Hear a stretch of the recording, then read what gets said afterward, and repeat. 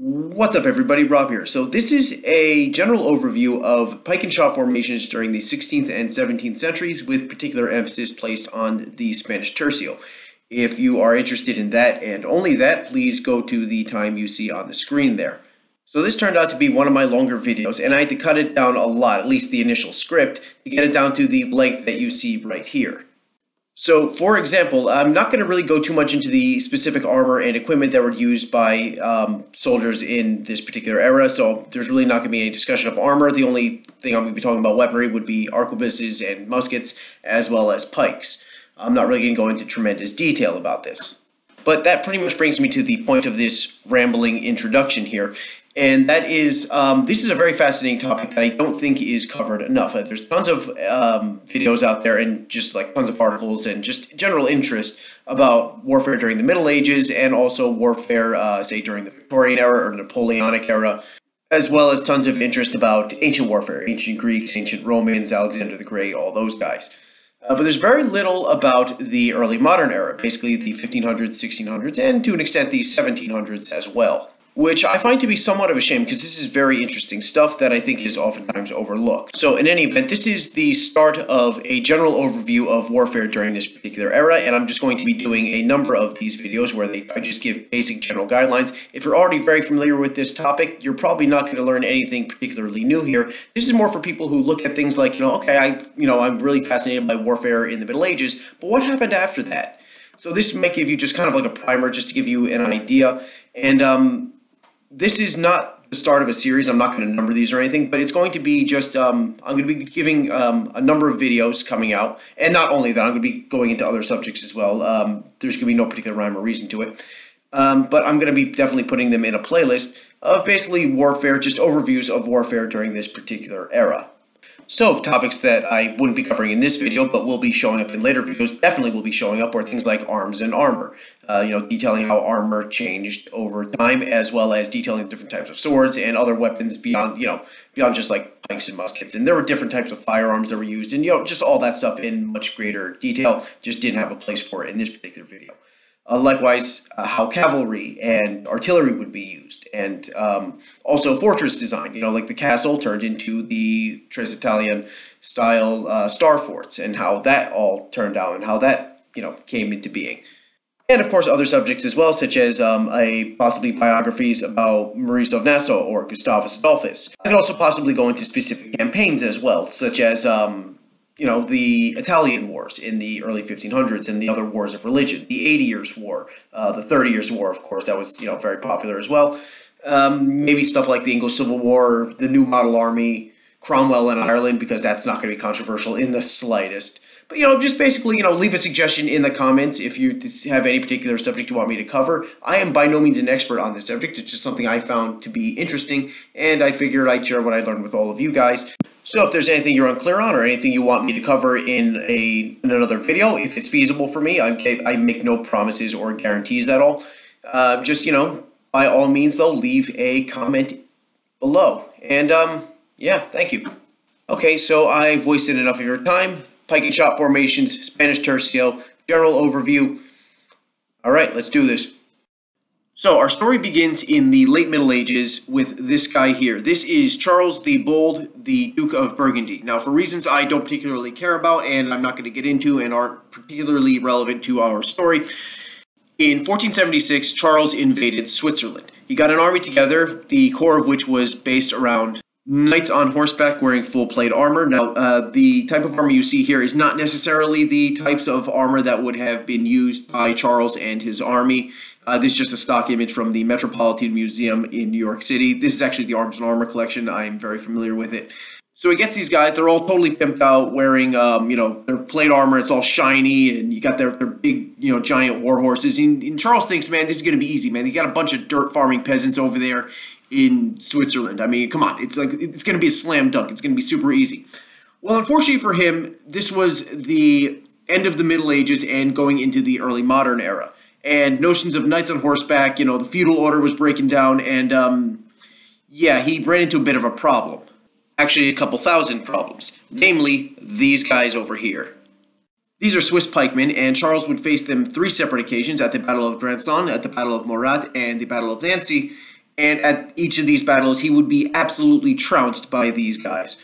And um, he would actually lose his life at the Battle of Nancy in 1477. So the use of pikemen would represent a massive shift in warfare from the early modern era, and pretty much spelled the end of knights on horseback being the dominant form of warfare. Now, the biggest shift here is the emphasis of infantry over cavalry. In terms of percentages of the army, infantry always was the core of pretty much any force. Cavalry is very expensive, and um, being able to you know, ride a horse effectively in a battlefield scenario, that's a very specific set of skills that takes a very long time to master. So infantry always was, you know, um, in terms of numbers, the the key of any particular army. But it was the emphasis was always placed on the knights, the nobles on horseback in their armor, uh, their heavy armor, and that being the main offensive arm of any medieval army. But with the advent of the Swiss pikemen, the emphasis was now placed on the foot slogging infantrymen. Now, incidentally, the great leap forward that you see here with the Swiss pikemen is actually technically a step backwards. This was all taking place during the Renaissance, which means rebirth. And what was being reborn? Well, ancient ways of thinking. Greeks, Romans, and other ancient civilizations, their you know, information that had been lost or at least forgotten about during the Middle Ages was being rediscovered, and warfare was no different. Now, a pike had been around for millennia before under the Macedonians, initially under Philip II, and utilized to great effect by his son, Alexander the Great. After Alexander's death, they would continue to be used as the dominant form of warfare by the successor states, um, you know, Ptolemy and all those guys, uh, up until the time that the successor states were in turn conquered by ancient Rome, and, well, this was just kind of a rebirth of something that had been centuries old. There is nothing new under the sun. All right, just to show off the strengths and weaknesses of this new method of warfare, I have out here some miniatures. We have the Perry Miniatures Wars of the Roses set. We have the Mercenary Infantry uh, right here. You can see um, they got the pikes right there. And just to pat it out behind them a bit, we just do have um, also from Perry Miniatures Wars of the Roses Infantry. Um, I just had them just have part of the army here just to show, you know, just a general idea. Any case, so you got these uh, pikes here. And um, they have to be arranged in a phalanx like this. And this shows the great strength of the pike as well as the weak. Now, a pike is a very long and unwieldy weapon. They can be anywhere from about 12, 13 feet on the shorter end, all the way up to 18 feet, possibly even longer. So we have these very long pikes here um, that pretty much are useless outside of this very dense formation. Now, they would people would be arranged uh, back in Macedonian times would be arranged in um, a phalanx, a very dense phalanx, and there's really no difference here. The Swiss did this. Um, you have these guys here. These are mercenaries, uh, representative of mercenaries during the Wars of the Roses, and they would be brought to England by Henry Tudor, uh, later on Henry VII, and um, basically in his bid to claim the English crown, end of the Wars of the Roses, Bosworth Field, all that stuff. Now, the great advantage, while they are in formation, these guys are all but invulnerable to pretty much anything that can be thrown at them except another phalanx worth of pikemen. So basically, um, I know their pikes are sticking upwards at the moment, but if you have the pikes, just say, imagine they were lowering down this way, and they're in multiple rows, so you would, uh, the guys in the back rows would have their pikes over the shoulders. There'd be a continuous row of pikes from the front line, and then just say an enemy, you got these guys here, I'm just, you know, these are more Perry miniatures. Um, these guys charge up. They, these guys would get stopped right there on the first line of pikes. If they somehow manage to get past that, they manage to duck, maneuver, whatever out of the way, they're going to get stopped by the second line of pikes who are now holding their um, their pikes over the shoulders of the guys in first, of the first line. And then behind them, there would be the third rank would have their pikes out. And then the fourth rank. And so there'd be a continuous line, you know, there'd be a line of pikes, there'd be another line of pikes, and then there'd be another line of pike heads. And so in order to get through it, uh, you just have to basically deal with this absolute forest of sharpened points that um, really it's all but impossible for you to get through. Basically what you have here is a gigantic mobile fortress that is impervious to pretty much, well, anything. A cavalry charge would get stopped cold right through here. You can possibly break through with infantry, but you're probably going to take some pretty heavy casualties along the way, and it probably just isn't even worth it. So uh, it's, it's a very, very effective defensive posture here. Um, the problem, though, is that um, you must maintain this formation. If, um, you know, this very densely packed shoulder-to-shoulder -shoulder mass, if there's any kind of break in the line at all, um, if somebody drops his pike, if, um, say, for example, um, they were to charge for any reason, like, you know, at a run or anything like that, they'd break up their formation, and there'd now be, you know, gaps in the line. They're, oh, these guys here, they want to run after them, right? So they break up their formations. So they break up their formation, and now there's gaps. And with these gaps, the enemy can run through and absolutely wreak havoc. So in order to maintain um, any kind of military effectiveness, they have to maintain unit cohesion. They have to be in this solid, impenetrable mass. There's simply no other option. They must be in one solid phalanx. All right, another liability of the phalanx in the, this very densely packed formation here was a vulnerability to ranged units. As you can imagine, um, something like this is just basically an artilleryman's dream. You have any type of field artillery, which was coming online at this point. Even um, Charles the Bold actually brought a few cannons with him on his ill-fated campaign. Didn't really do him much good. Um, but this is just a dream for those guys. I mean, it's like, you know, densely packed mass like this they're just going to get, these guys are going to get lit up like a Christmas tree. Uh, likewise for crossbowmen, um, longbowmen, if um, we are talking against the English here, um, not really all that much. I don't know of any uh, longbow, off the top of my head, I'm sure it happened, but uh, longbow versus um, pike block, you know, uh, battles. If there is, uh, leave, leave it in the comments, let me know. But in any case, um, yeah, any type of ranged unit, this is a perfect target. So we have artillery, we have uh, crossbows, bow and arrow, and, of course, a brand new invention, or not quite brand new, but a relatively new invention, firearms. Okay, so you have here are some very early, very primitive firearms. Now, firearms had been around for a couple centuries at this point. Uh, the Chinese invented it, I want to say in the 9th or 10th century AD, they invented gunpowder. Um, eventually, they created uh, rocket type weapons with it. Uh, eventually, gunpowder did come to Europe via the Mongols in the 13th century, I want to say. Europeans adopted it pretty rapidly thereafter and saw the military applications of it. Uh, during the Crécy campaign in the mid 14th century, the English brought several cannons with them, and actually there were several cannons and um, um, artillery pieces at the Battle of Crécy. Uh, they did virtually nothing, but they were there. Um, there originally, um, as a personal infantry weapon, there was um, something called a hand cannon, which is exactly what it sounds like. It's basically a little mini cannon that you hold, and you, you know, got to balance it. It's, not, it's on the end of something that looks like a broomstick. You kind of tuck it under your arm, and you point it in the general direction of the enemy, and you hit it with um, a burning match, and um, or you know, like a little open flame, and then you that would send off the bullet.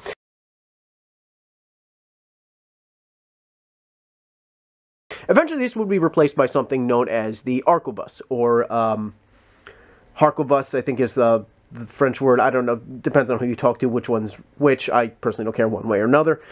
Eventually, that would be replaced by something known as the matchlock musket. Now, uh, the difference between a musket and an arquebus, um, muskets are larger. They have a larger caliber.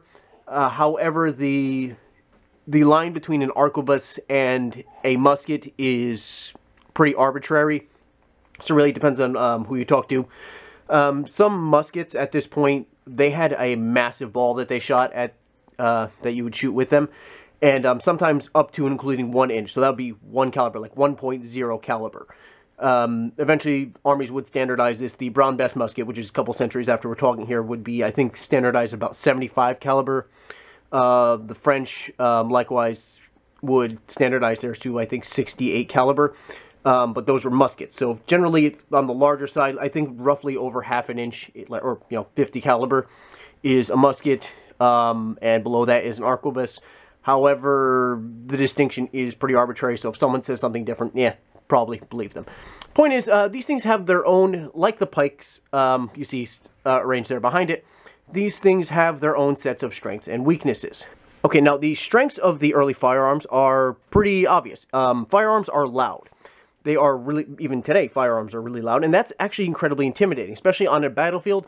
That is something that, you know, when you have this thing in your hands, and uh, people at this point in history were not particularly used to, um, like, th there were no movies or anything like that at this point. So having an explosion, something that creates literally this loud crackling thunder, and, you know, hundreds of guys do it, belching out this big plume of smoke, um, you know, that's kind of would freak people out, which is actually why um, firearms would be used.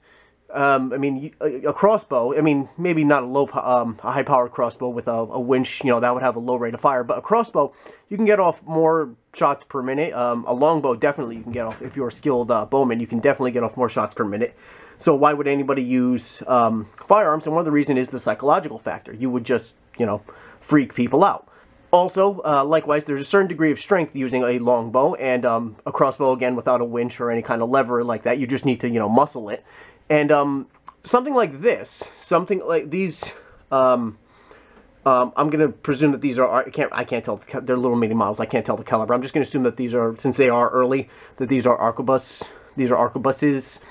Um, anybody can learn how to do it. If you have functional um, limbs, you can be taught how to do it. It doesn't require any degree of specific physicality. Um, you know, really anybody can, you know, go through the multitude of steps. There's a lot of steps, but anybody could learn it. So it doesn't require as much physicality in there. So that's another advantage as well. So you can put more, it's, um, you can put more soldiers into the field and thusly you can increase the firepower.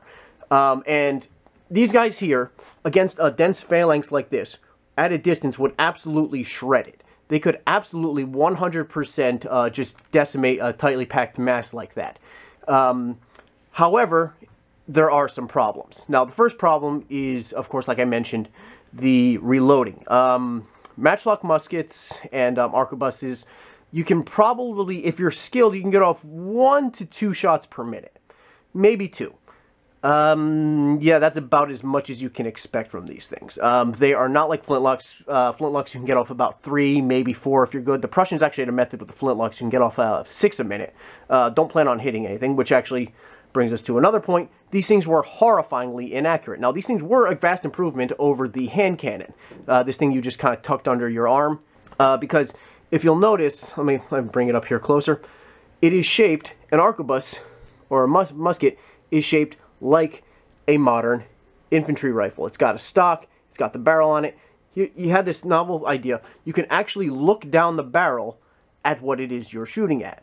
And then um, by when you, you know, actually can look down the barrel, you can sight it in properly and actually hope to get it somewhat on target, which was a vast improvement over the hand cannon, which you just kind of had to tuck under your arm and pray. Um, that being said, these things were smoothbore, which means that the ball in the um, in the barrel will be rattling down the barrel, and wherever it rattles last is the direction it's going to go. So if they could be firing, uh, not the scale here, yeah, I know, even even with the scale here, this would be maybe a couple, you know, couple, like maybe like 20 feet or so, but, you know, at any significant range, um, they could be firing, you know, at this guy here, and it might hit this guy here. It might go flying over their heads. It might embed in the dirt. It could go flying, you know, tear up some of the pikes, you know, way above their heads. It, who knows? There's no way you can predict this. So these things were very slow to reload, very horribly inaccurate.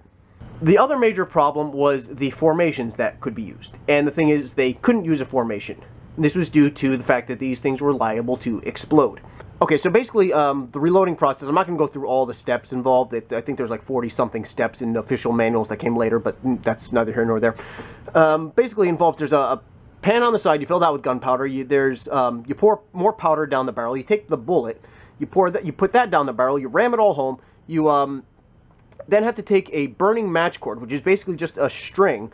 You load it with um, something like quicklime, which is uh, basically a well, it's a flammable liquid substance, and you um, would have this quicklime coated match uh, would cause this uh, piece of string to smolder. You would then fit that into the jaws of the, basically the hammer, and um, and then you would, you know, point it at the enemy. You would pull the trigger. The trigger would um, activate the hammer. The hammer would strike the pan. The pan would ignite, and you know, cha so your chain reactions, cha uh, chain reaction would happen, and the bullet would fire.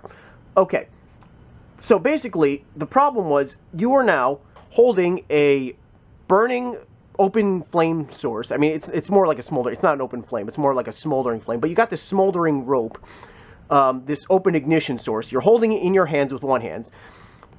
With one hand, you have gunpowder in your other hand that you're now actively pouring. Um, so there's a bunch of loose particles flying everywhere on a battlefield while you're being shot at. All it takes is one slip, or if say you get shot yourself, or you know something happens, you know you can slip and fall on wet leaves. You know any one of like a million things that can happen on a battlefield. Uh, you sneeze too hard. Um, some of this powder that you're now pouring will then pour onto this open match, and it would cause a reaction, causing you to explode. And then the person next to you.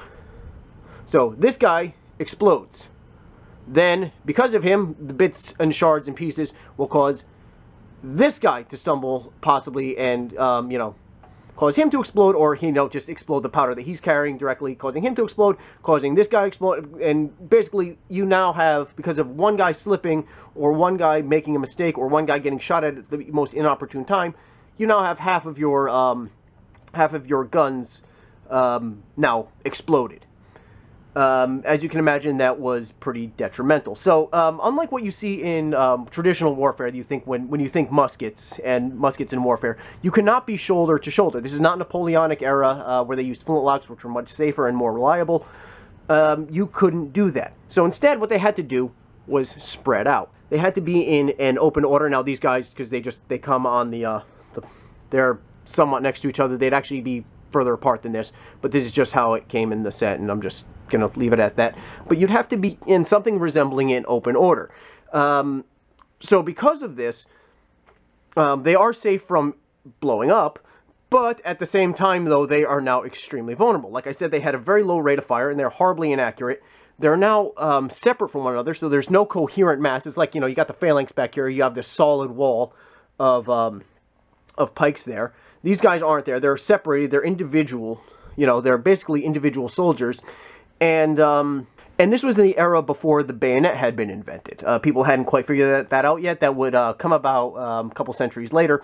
Uh, late 17th century, there would eventually be the plug bayonet, and then the ring bayonet would come after that, but uh, we're not nearly there yet.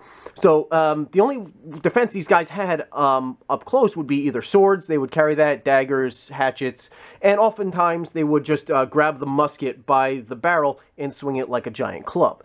As you can imagine, this was not particularly effective, you know, especially against pikes and, of course, against um, a well-timed cavalry charge. So you have these guys here in open order um, without any real type of uh, defense against, you know, close combat. These guys were highly, highly vulnerable. All right, so the big question of military planners was, how do we utilize the strengths of the phalanx and the strengths of the uh, the new firearms that were coming online um, while at the same time minimizing their weaknesses. And there were many different uh, ways they can do this. Now, oftentimes it would be uh, having the um, the pike block in the back, uh, basically as the main offensive arm, and the um, the firearms up front as skirmishers. Again, this uh, takes advantage of the fact that they're in open order. They would be used, you know, to skirmish with the enemy, break up their formation, and uh, honestly to um, confuse the enemy because these things would put off a giant cloud of billowing bluish-white smoke, and that would obscure uh, movements and um, basically just make things difficult for the enemy to figure out what's going on. So um, having them as skirmishers like this was highly effective. Also, oftentimes, um, the firearms would be used on the flanks of the main uh, pike block here, and again, they would be in more open order than this, and they would um, fire at the enemy, fire at um, enemy musketeers, and fire at the enemy phalanx. And then if they were pressed, because uh, again, they would still be in much, um, they would be too spread out, they'd be in open order. If there was a problem, they could simply duck behind the pikes for protection. Getting a little messed up here, but you know, you get the, you get the idea. They would duck behind the pikes for protection, while um, the pikes would be able to form basically a mobile fortress and screen the um, screen the gunners if they were pressed too closely, and then when the enemy was uh, beaten back or um, should the situation call for it, they could then just swing out and resume what they were doing. So this combination of pikes and early firearms spread very quickly throughout the continent and soon became the dominant form of warfare throughout Europe. Pike and shot formations were, of course, spread throughout Europe by the Swiss mercenary pikemen. Uh, Swiss mercenaries were famous throughout Europe, and likewise were other groups such as the German Landsknecht, like you see here. But this was the early modern era, and people were looking for constant ways to improve things, especially military technology. I mean, this was a time of the wars of religion, and just was generally a very bloody time in Europe's history. Uh, really, when wasn't a bloody time in Europe's history, but whatever, that's another story for another day.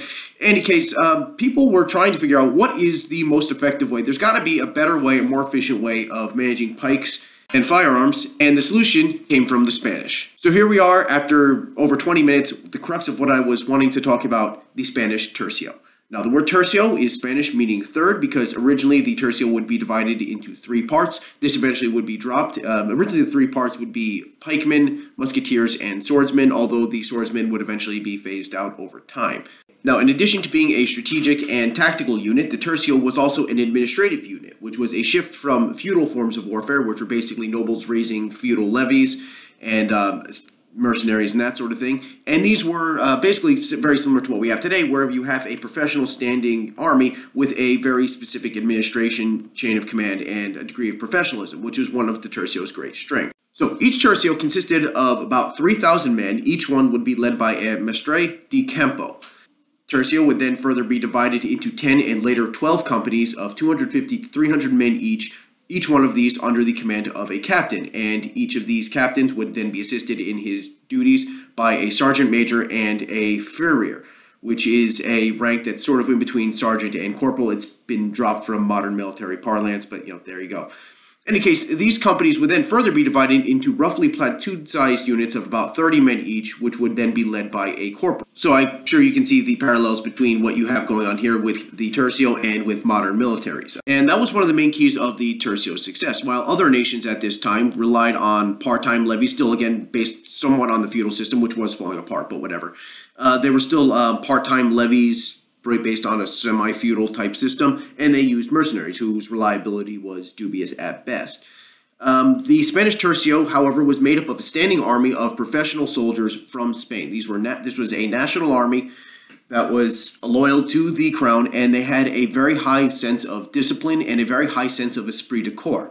And uh, this would prove to be absolutely crucial in many battles throughout their history. This high degree of organization also assisted the tercio in that it allowed orders to be transmitted quickly from the commander of the tercio all the way down to the lowliest officers very quickly and effectively. Now, the tercio could and often did fight as a single 3,000 man unit. However, individual companies and even platoons could break off and be detached from the main tercio to complete specific objectives.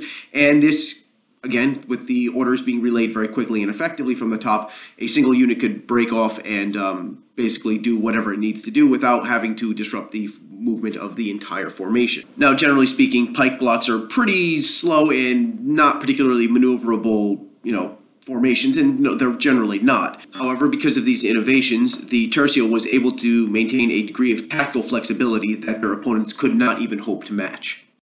Now, the Spanish used their new methods of drilling and discipline in order to maximize the effectiveness of their muskets and arquebuses. Now, um, they did so by, first of all, they placed their men in very specific formations, basically a block formation. They would normally have their men in ranks of 10 deep. I only have three here because, you know, one, two, three ranks. Um, just so you know, this is a rank, this is a file. So, yeah, there's um, four files, three ranks. That's how it goes. Point is, um, they arrange their men in uh, groups of 10 deep, only have three here and they instituted a new method known as volley fire. So like I said before, muskets were supremely inaccurate and hard to reload. And so the Spanish went, came around this by um, having all the men in the front rank all shooting at the same thing at the same time. Maybe something will hit. It's, you know, law of averages is on your side. Now, in order to make up for the fact that these guys um, were slow to reload, and um, they would be, you know, they would be uh, very vulnerable at this point, uh, right after they um, after they fired. So after they gave fire to the enemy, they would go to the back of a lot of the column that they were in. They would countermarch to the rear, and then the ranks in front of them would move up. Of course, it'd, uh, it'd be a lot more elegant than this, and all the other ranks would move up. Again, there would be 10 deep. It would be um, a lot more elegant than this, but there you go. Now, while these guys were in the back here reloading, these guys would then open fire, again, at a prearranged signal, all at the same time, at the same thing. So there'd be a constant barrage of fire. Instead of, um, up to this point, uh, volley fire hadn't existed, and pretty much every gunner would just shoot more or less at his own pace. And um, the enemy would be receiving sporadic fire, and um, if they could time it properly, um, you know, a very well-placed cavalry charge or um, even an infantry charge, if you know, depending on the distances, could possibly sweep them from the field. But basically, you know, you'd have these guys give a volley, they'd move to the rear, and then by the time the enemy recovered from this one massive blast, these guys were now in position. So the enemy figure out what's going on. They would get another. These guys would give their volley. So it would just be a constant, um, you know, barrage of fire. So they fire and then countermarch to the rear. Fire, countermarch to the rear. So the enemy was under constant pressure from the muskets virtually constantly. And then again, with, it would be 10 ranks deep. By the time um, this front rank was, uh, uh, these guys here would be in the front again, they would be ready to reload and they would uh, just be able to um, continue the, the pressure on the enemy. The great strength of the Tercio was its combined arms. You had the defensive staying power of its pikemen, while at the same time you had the offensive ranged capabilities of its musketeers. And this is most apparent in one of its most famous types of formations, the bastioned square, which is what you see here. The pikemen would form a hollow square in the center of the formation, while at each of the corners, the musketeers would form into groups known as sleeves.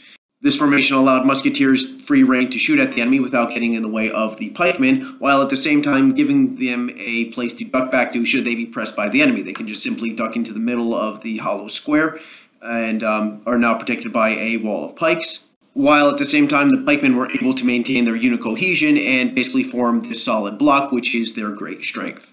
This is referred to as a bastion square because it does somewhat resemble the uh, bastions on the new trace italienne style fortresses, which is a new innovation in fortress design over traditional medieval style castles. It'll probably get its own video eventually someday for me, maybe, maybe not, I don't know, we'll see. Meh, eventually.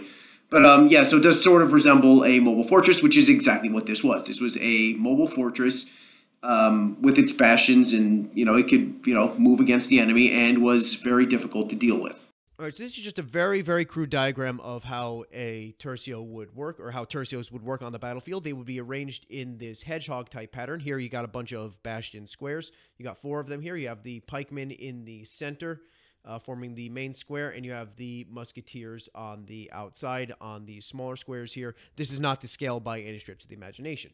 Now, they'd oftentimes be deployed in this hedgehog pattern, um, kind of like this dragon tooth design, where you have the leading edge of the rear um, pretty much even with the trailing edge of the tercio in front of it. So you have, you know, so just say, for example, um, an enemy is here and they're advancing this way. I can't draw to save my life. I think you should have understood that by now. But they're under, they're advancing that way. The musketeers from these squares would be shredding into the enemy. They would just be absolutely using their very disciplined volley fire. Um, that again, the Spanish were the first to adopt it, and other people did adopt it, but the Spanish pretty much did it better than anybody else at this point.